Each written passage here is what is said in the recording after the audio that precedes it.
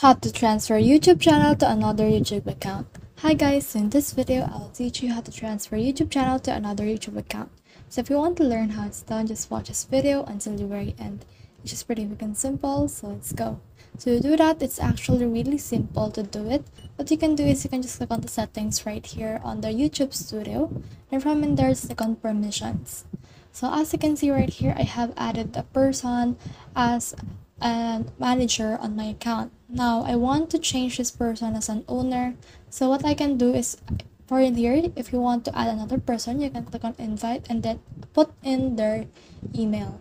Now I've already done that, so I can just click on their role right here, click on manager, and then as you can see right here, there's a lot of things that we can choose from from here.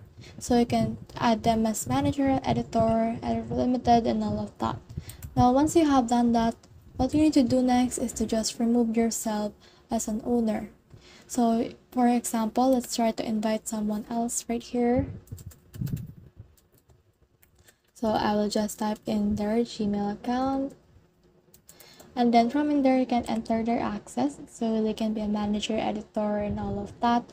But as of right now, there's no method to change the owner of this. So if you actually remove yourself from this, you only have a manager. So that's the whole process. I hope this video helped you to transfer YouTube to another YouTube account. If you have questions, comments, comment them down below and we'll try our best to answer them. Thanks.